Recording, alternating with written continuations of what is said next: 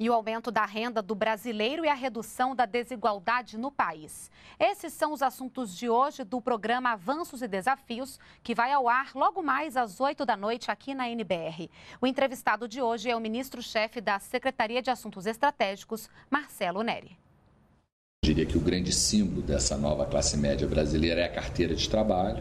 Existiu desde 2004, dobrou o número de empregos formais gerados ano a ano e isso eu acho que além de vir acompanhado de um grande ganho de renda, ele dá maior estabilidade às pessoas, maior sentimento de cidadania. Então acho que é, a última década pode ser a década da redução da desigualdade, também da formalidade, da formalização, que embora sejam problemas ainda fortes, tanto a desigualdade quanto a informalidade, elas foram, elas avançaram muito, é, no, elas regrediram muito nesse, nessa última década.